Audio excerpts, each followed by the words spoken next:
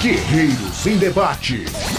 É, e o Hudson está complementando nossos comentários aqui, dizendo que para ele o estilo do Mano é muito chato, não usa base, prejudica o clube, mas parece que o Mano não se importa muito, não está nem aí, e que ele acha que o Alejandro, por exemplo, tem sorte, que o Popó é mil vezes melhor, que ele já né, que é diferenciado demais, precisa ter oportunidades, e ele não confia nem no Raniel, nem no Sassá, nem no David, né, que eles não passam confiança, se machucam muito e são inconstantes, né, e acho que a gente deixou, o Hudson está deixando claro para a gente que a opinião dele era aí é, a favor do, do Vinícius Popó ter mais oportunidades. Eu acho que é um, é um momento importante né, de, de dessa transição.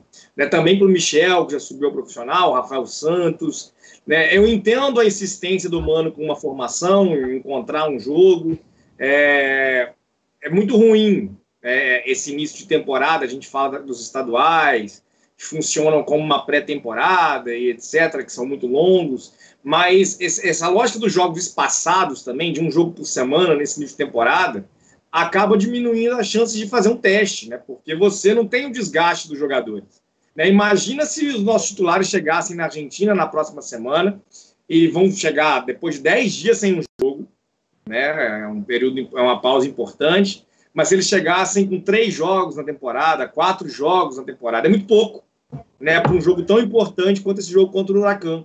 Né? A Liga dos Campeões, por exemplo, lá na Europa, vai começar com os, os, os nacionais já tendo dado uma rodadinha, ainda começa ali com uma fase de grupos que, enfim, né, as últimas reformas da UEFA qualificaram, mas os clubes grandes têm ali um, um joguinho mais tranquilo ou outro, né, dificilmente vão passar o maior aperto, mas o início, as primeiras rodadas do Campeonato Espanhol, do Campeonato Inglês, do Campeonato Italiano, elas servem para dar ritmo. Depois que os técnicos vão mexer mais no elenco, né, vão dar chance para quem joga menos, vão poupar quem está desgastado. Né? Mas no início você precisa condicionar os jogadores.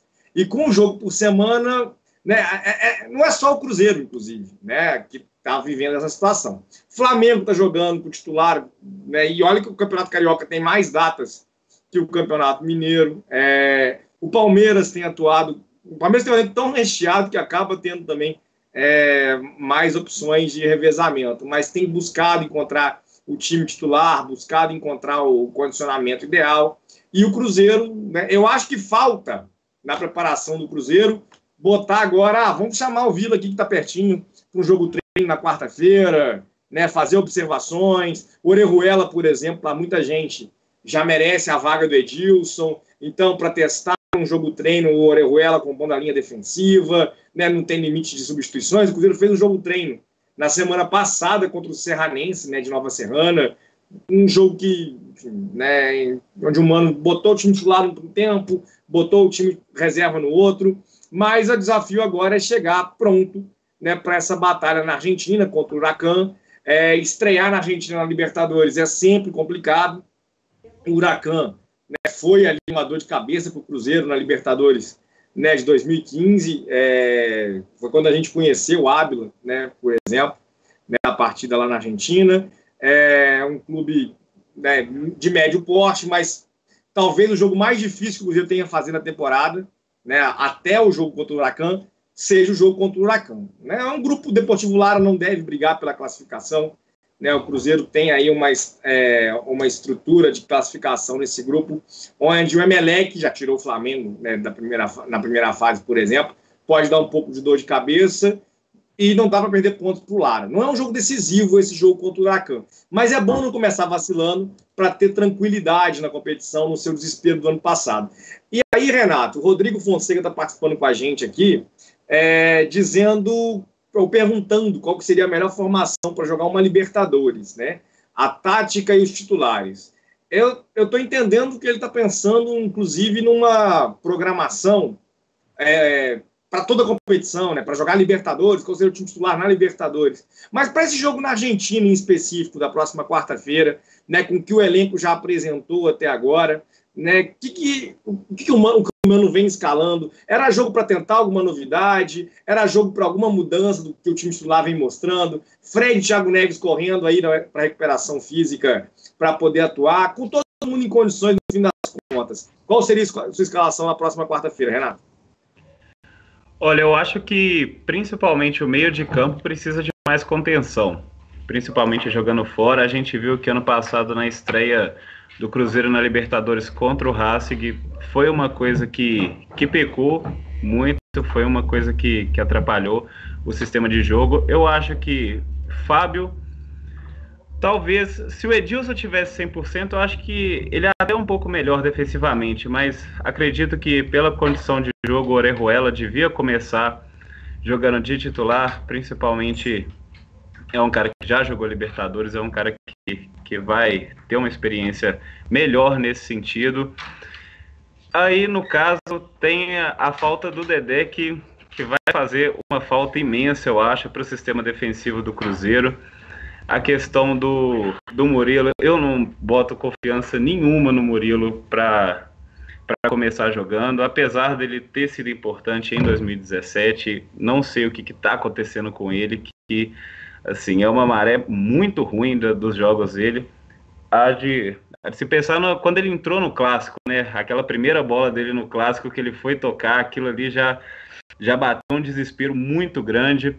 Aí o Kaká também, a, a zaga vai ser um problema. Eu confesso que eu não assim, do lado do Léo, eu não sei quem, quem eu colocaria, porque se, se fosse no ano passado, o Manuel estando no, no elenco do Cruzeiro ainda, indiscutivelmente que seria ele, mas com a, com a falta do Dedé, infelizmente o Murilo não tem condição, mas vai ser uma dor de cabeça para o Mano Menezes. Essa posição, vou, o outro zagueiro, eu vou ficar devendo, porque até eu não sei quem que eu colocaria. Vai ser uma dor de cabeça muito grande para o Mano.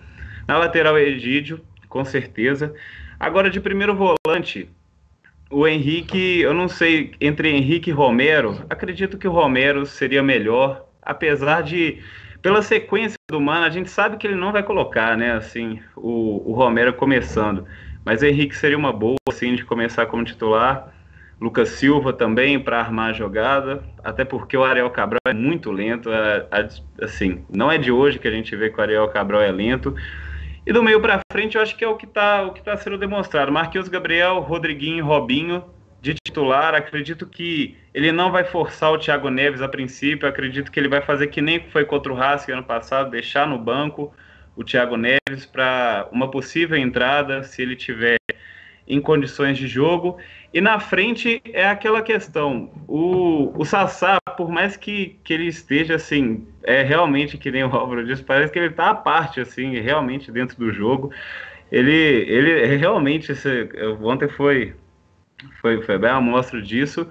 Mas ao mesmo tempo, o Raniel também não passa, não passa tanta confiança assim, né? Acredito que por um jogo mais de corpo que a Libertadores, eu colocaria o Sassá de titular, sim para fazer o ataque, principalmente porque o Marquinhos Gabriel já mostrou ser um cara de velocidade. O Robinho tem aquela assistência, foi o cara com mais assistência no passado. E o Rodriguinho cheira gol, né? A verdade é essa. O Rodriguinho, assim, por onde ele passa, a bola sobra para ele e pode ser fundamental nisso, principalmente de uma estreia da Libertadores. A única posição que eu vou ficar devendo aí vai ser o, o outro zagueiro, porque realmente assim, o tá difícil, sabe? Se for olhar assim para quem vai ser o substituto do Dedé, eu não vejo ninguém apto no momento assim.